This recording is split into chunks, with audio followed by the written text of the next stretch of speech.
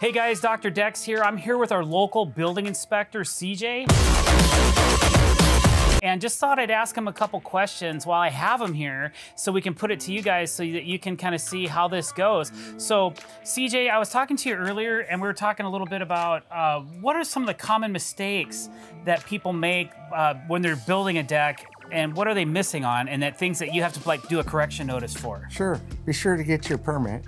The um, uh, make sure you get your footings inspected uh, for that, and then make sure you get uh, your stairs. Uh, you do them properly.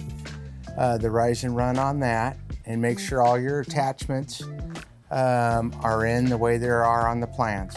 So, as far when you say stairs, um, I think a lot of people don't realize that you only have 3 eighths of an inch that you can vary between any elevation on any given step. Is that the, is that the correct Yeah, uh, that- height? that's correct. Okay. Um, from like, let's say if you have a two inch one here and a five inch one up here, it's not gonna happen because it can only be within three eighths of an inch difference between the top run and the bottom run. So if you're doing a seven and a half inch rise for your stairs, if your bottom step's seven inches, you're out of compliance, will not pass. it will not pass. Will not pass. If you have all your pickets at three and 15 sixteenths, but the last one's at four and an eighth, Will not pass. will not pass. I don't know how many times I've said these things, but these are things that are sticklers for a lot of local jurisdictions and building inspectors. But it's always good to hear from the pro uh, what you think and is how how have we done so far on this project? Oh, this has been superb. We've gone through, this is our um, second or third time out here.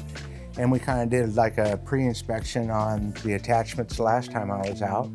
And the project seems to be going just fine. Yeah, so we basically have everything finished for final, all of our railings done, but I didn't realize that because the electrical's been roughed in and, and inspected, but it hasn't been final, that he can't give us a final until all these wires are all connected. So we're gonna actually have another callback Yeah.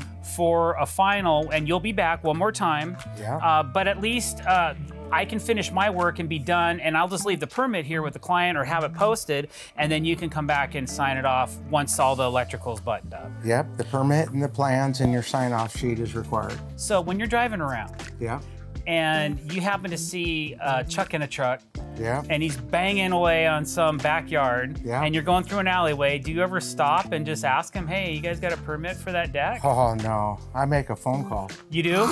You make a, so to local code compliance? Oh yeah, we, we got it on speed dial, and we, Okay. we we look for people like that that are out doing it. you're not like a, the police or anything like No. that. But if you're dri- if people are in the open and they know they might be risking it if they're building without a building permit, and you happen to see that type of work going on, I guess that that's just the luck of the draw then for these people. Like if and then you just call Yeah. local co- code compliance, and then they come out. Yeah, I call my buddies. You call your buddies Yeah. Awesome. And then they send them out. Yeah, so what that does, guys, is a professional like me that I'm pulling a permit on just about every job I build takes time and it takes a lot of money. It can add six, seven, eight thousand dollars to the price of a deck, where there's another guy that might not even be licensed. And that's another thing. If you're gonna build decks and be unlicensed and not pull permits, you're in for a real world of hurt because you can't even pull a permit if you're not licensed and bonded and insured. Yeah, and if you get caught, uh, it could be double or triple on the permit. So triple your permit fees as well, which is